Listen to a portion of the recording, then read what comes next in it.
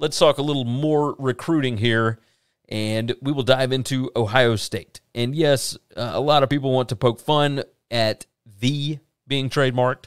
They finally got that deal done. I don't want to dive in the weeds on that, and I don't feel like you guys do either. So we'll skip that.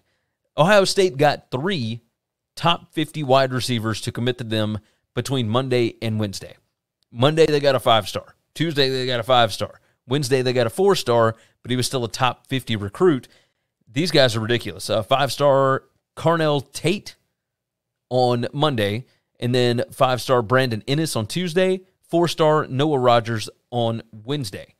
I Brian Hartline is a magician, an absolute magician. I don't know what else to say about him. I mean, he is.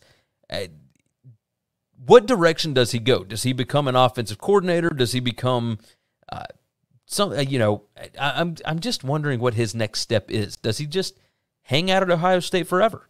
Like the same way we were talking about Sark with, you know, first round quarterbacks, with all the stuff that he did at USC with Mark Sanchez, et cetera, uh, uh, Carson Palmer, all that. Eh, we could say the same thing about Brian Hartline at Ohio State and, and what Ryan Day is doing. I mean, you look at the just in the past five to six years, the wide receiver recruits that have come out of Ohio State that have gone into the NFL, that's the easiest sell in the world you don't have to worry with NIL and all that. Like those guys know if I go to this school, I'm going to get drafted. That's an easy sell. Eh, with this, I'm I don't know what Hartline does next.